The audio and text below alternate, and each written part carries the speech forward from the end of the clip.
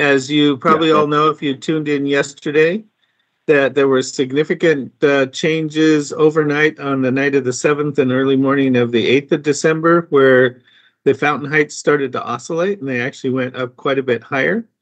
Uh, during the day yesterday, those fountain heights dropped, but they were still um, oscillating a lot more than they previously had been. So we went from kind of steady uh, 100 to 200 foot high fountains to fountains that reached as high as several hundred feet.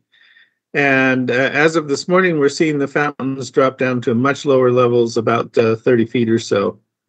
Um, this has uh, led to producing a flow that is moving away from the vent um, and is only about two kilometers from the vent, so not quite as far as the flow progress that was charted yesterday. These flows are very sluggish and not making it very far. There's no more lava feeding the old front that was down in the saddle um, and within under two miles to the highway. That flow uh, last night continued to glow and spread. There's still quite a bit of lava contained in that. And uh, the center of that mass is about twice as high as the edges. So we expect that to kind of keep pushing and flattening out, perhaps for a couple of days, that people will be seeing that front glow and maybe very slowly move. But it is not uh, any threat to the highway anymore at all. Um, and I think I'll just turn it over to Tim because he was up there yesterday and, and let him add uh, some more observations. So, Tim. Thanks, Ken. Everyone, I'm Tim Orr with the, uh, I'm a geologist with the USGS. Uh, I'm going to share my screen, uh, show you some photos from yesterday, as well as some photos from the field crews that are out today. This is from yesterday morning when I flew out. I was in the field yesterday. Uh, prior to yesterday, the flows have been concentrated on the western side of the cone in the area I'm circling with my mouse here. Um, be two nights ago now, the, the activity shifted over to the eastern side of this of this cone. And this is the area which was producing the higher fountains um, two nights ago, as well as uh, through part of yesterday.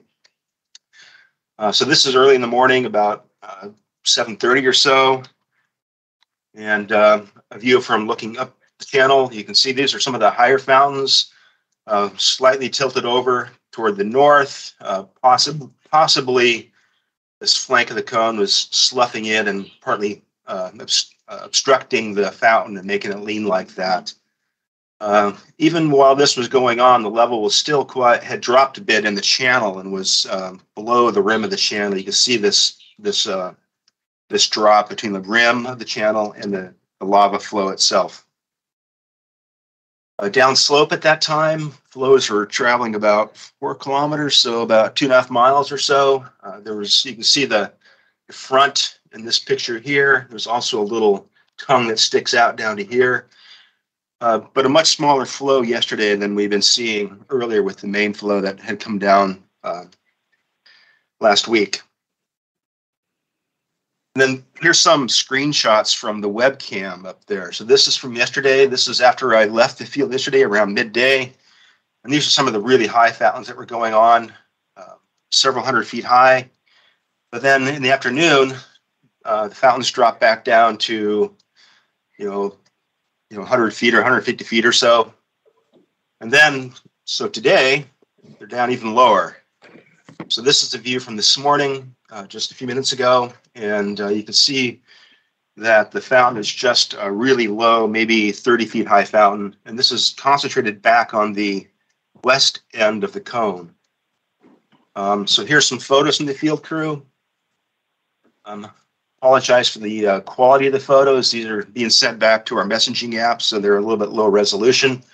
But you can see um, yesterday the fountaining was on this part of the uh, cone, and now the fountain is clear at the western edge of the cone system, or, the, or the, of the cone, and feeding into a small ponded area, which is partly drowning the fountain, and then that's flowing into the channel. And you can see again now the uh, lava stream is really low down at the channel, so a clear drop in the effusion rate from the vent.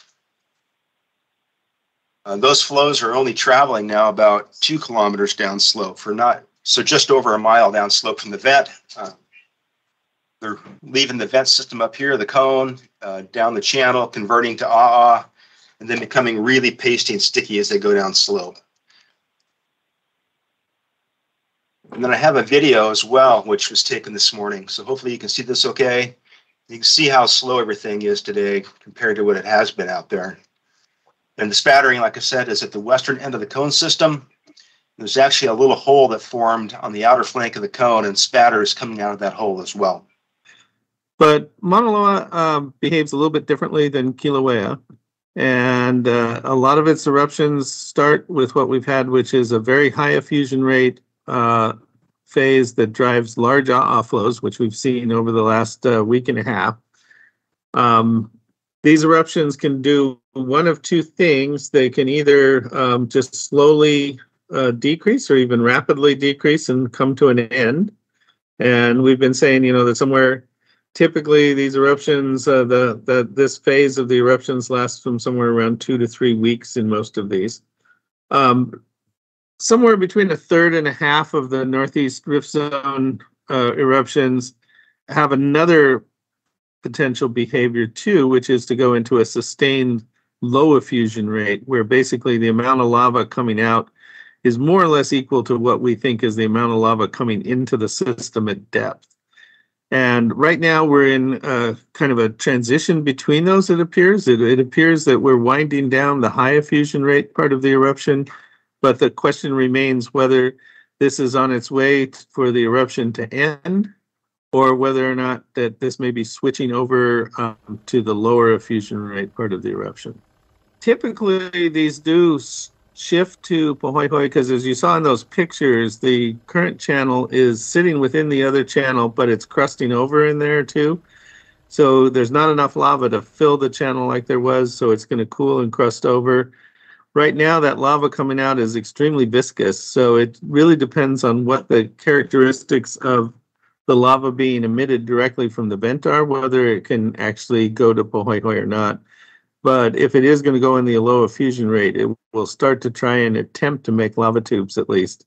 Um, without making the lava tubes like we've seen this morning, you're going to see a lot of shorter uh, flows that are probably going to pile up around the vent quite a bit and not make great distance away from the vent just because they're low volume and they're going to cool pretty quickly as they move away.